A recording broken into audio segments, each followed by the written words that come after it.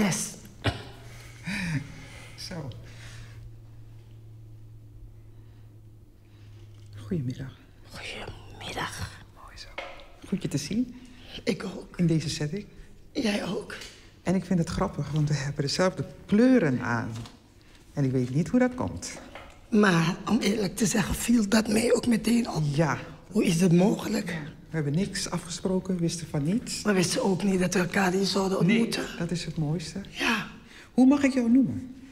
gewoon bij de naam Lucette. Lucette. Wat ik heb gekregen van mijn ouders. Ja. Even. Ach. ja. Asfa, Asfa. bijna. Bijna. Asfa bijna. Ik vind het altijd zo'n prachtige naam. En ik ben blij om jou te zien, want in mijn gedachten dacht ik, wie kom ik tegen? Ja. Je weet maar nooit wie het is, weet je. Het kan ook mijn zus zijn. Het kan. Ik heb geen vijanden. Het kan mijn vriend zijn of zo. Ja. Maar blij dat ik met jou dit mag doen. Dan ga ik jou, ik heb de eer om jou een vraag te stellen. Ja. En dan zeg ik eigenlijk, ehm, we hebben het slavernijverleden. We hebben de erfenissen van het slavernijverleden. En op wat voor manier zie jij de erfenissen van ons slavernijverleden terug in onze samenleving? Op verschillende manieren. Als ik begin, dan zie ik het al bij het kind. Dat kind dat niet tevreden is met de huidkleur. Ja. Dat kind dat niet tevreden is met het haar. En geef Waar- eens een voorbeeld. Waaraan Een zie je dat bij een kind? Ja. dat als ik een kind, bijvoorbeeld ik werk met kinderen... en dan zeggen ze altijd, ze roepen mij tante... ik wil glad haar, ik wil mooi haar, ik wil blauwe ogen. En ik zeg altijd tegen ze, je bent een parel. Sta voor de spiegel, kijk maar. Ja, zegt ze, want die zegt... white is mooi. Ja. Ik zeg nee. Toen wijs ik de... Ik zeg, maar we hebben één bloed. Ja. Begrijp je? Je hebt ook mensen die zeggen... Ah, waarom heb je je haar knip? Ik zeg, ik vind het zo leuk. Dit is het haar waarmee ik geboren ben. Ja. Hoe zat je haar vroeger? Nou, om eerlijk te zeggen had ik ook een pruik op. En gestreed en weven. en gestreed en weefhaar. En mijn vriend zei me altijd... Hé, het stom ding. Ik zeg, het is mijn ding. Ik heb het. Maar op een gegeven moment moet ik niet jakken begonnen te jeuken. En ik kreeg ook uitslag. Toen ben ik ermee gestopt. Dus jij begrijpt die meisjes die je nu aan het coachen bent. Ja. Dus ze hebben Ja. ook een beetje recht op hun illusies. Ja, We moeten ze de tijd geven om erachter te komen, denk ik. dat denk ik ook, ja. Dat, het, dat Ja, ze die nodig hebben, eigenlijk. Moeten wij het slavernijverleden op een andere wijze herdenken? Wat denk je daarover? Op een andere manier herdenken. Ehm, je kan natuurlijk op verschillende manieren herdenken. We hebben de jaarlijkse herdenkingen, die Ja. je inmiddels in Amsterdam hebt, maar ook in Rotterdam, ook in Middelburg. Middelburg, ja. En natuurlijk nog allerlei andere kleinere plekken in andere steden waar mensen samenkomen en op hun manier vormgeven aan die 1 juli ter herdenking. Je kan natuurlijk ook zeggen, ik ga naar een museum, ik ga naar een tentoonstelling over het onderwerp en dan ben ik ook bezig met een soort van herdenking. Eh, moet het anders, is de vraag. Ik merk eigenlijk dat er heel veel initiatieven zijn. En die initiatieven komen ook wel van de mensen zelf om te zeggen: ik wil op zo'n manier vormgeven aan de herdenking. Het zij een monument, het zij een ander monument, het zij eh, hier naar Amsterdam Surinameplein te gaan of naar het Oosterpark te gaan of ik ga helemaal naar Rotterdam. Sommige mensen vinden die versnippering vervelend. Ja. Eh, je hebt ook herdenkingen in buurthuizen, bijvoorbeeld in de Kinkerbuurt, maar ook in Zuidoost. Eh, je hebt op scholen hebben ze hun herdenkingen. En sommige mensen vinden die versnippering vervelend, maar ik vind als mensen vormen vinden om deze moeilijke geschiedenis te herdenken en ze doen het op de manier die bij hun past, dan is het eigenlijk rijk als, zoals iedereen het nu doet. Zo hier en daar en die doet mee en die doet mee. Dus op een andere manier herdenken. Ik zou zeggen, laat het gaan zoals het gaat. Zolang het natuurlijk wordt gefaciliteerd door alle organisaties, instituties die van rijkswegen en van eh, gemeentelijke wegen worden gefaciliteerd. Dat zou ik zeggen. Ik vind eh, dat het ook op een andere manier ook herdenkt kan worden. Bijvoorbeeld, ze doen het ook in de kerk. Ja. Vroeger weet ik dat ze deden in, eh, Zuidoost, naar Belmenpark. Ja. Dat is ook afgeschaft. Met eten kwamen ieder bij elkaar. Maar als je mij zelf vraagt, een herdenking, dan zou ik zeggen, herdenking doe ik altijd in alle rust. In alle rust. Ja. Weet je? In het te gaan, rust. Ja, En ik zou het niet één dag doen, een hele week. zo.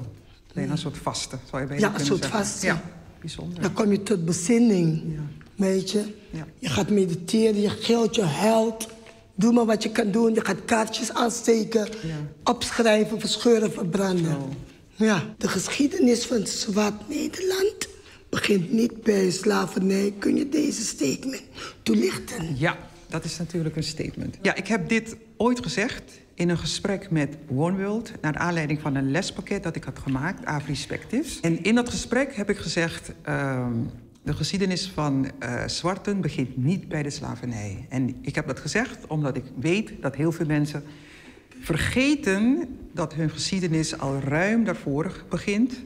En ook je kan het eigenlijk ook niet anders weten. Maar het is wel goed om te beseffen dat onze voorouders uiteindelijk ergens vandaan zijn gehaald, geroofd, verhandeld, gekomen om aan de westkusten van eh, Afrika verkocht te worden, zodat wij over zee konden naar de nieuwe wereld, zoals we die nu kennen in Suriname, eh, delen van Zuid-Amerika en de Antillen.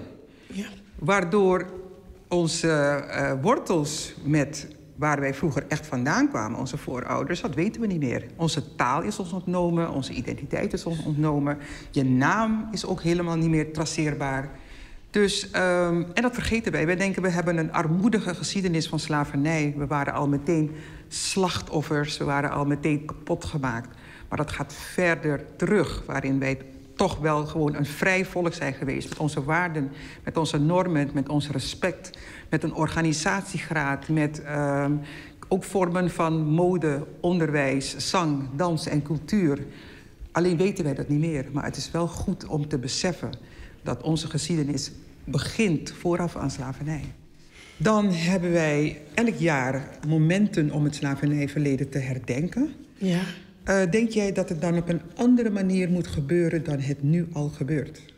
Nou, als ik het aan de vorm zou willen geven, dan denk ik bijvoorbeeld aan de Slavernijmuseum. Waar die mensen daar worden geconfronteerd Ja. met het heden, het voor, wat het voorheen is gebeurd. ja. Dus Begrijp je? Het museum en documentaires Ja. laten zien van vroeger. Ja. Weet je, dat aan de beeld hebben. Weet je, en dat acceptatie. Ik weet niet hoe je het zou kunnen accepteren. En Wie, wie moet wat accepteren? wij, als de nazagen, Ja. als je ziet dat ze hebben gevraagd aan de minister, aan de president, eerherstel. Ja, we willen verzoening. We willen een vergoeding voor wat ons ouders, een groot grootouders hebben aangedaan. Maar ik weet niet als die vergoeding ook zou kunnen helpen. Ja, eerder. Want die pijn Ja. die diep van binnen zit, ik weet niet, eerlijk gezegd, ja. hoe wij dat zouden moeten verwerken. Dus herdenken, is dat voldoende om dat te verwerken, denk je? Is dat dan... Denken, praten. En eh, nou, ik roep het als een manier van opstellingen, familieopstelling, systemisch opstellen. Ja, Dat denk ik dat een heel goed man- goede manier is van. oké. Als we denken dat er nu veel bewustheid is op onze manier van geschiedenis, vooral bij de jongeren, of hebben we nog een hele lange weg te gaan? Ja, dat is een goede vraag. Hè, over hoe ver we nu gevorderd zijn met het bewustzijn over deze eh, geschiedenis. Ik denk dat wij eh, stapjes zetten in een goede richting. Dus dat er eigenlijk al heel wat veranderd is. Ehm, toen ik met dit onderwerp begon, in begin 2000, Nintzee slavernijmonument begon pas. Toen was er nog lang niet zoveel bekend, nog lang niet zoveel maatschappelijk debat over het onderwerp. En als het eenmaal werd gevoerd, was het ook zo fel meteen afwijzend, bagatelliserend, afkeurend. Maar vandaag de dag zie ik dat er veel meer discussie is, ook veel meer musea, veel meer archieven, veel meer theater, veel meer eh televisieuitzendingen, eh, veel meer op de radio, ehm, dat het onderwerp wordt besproken of er iets mee wordt gedaan.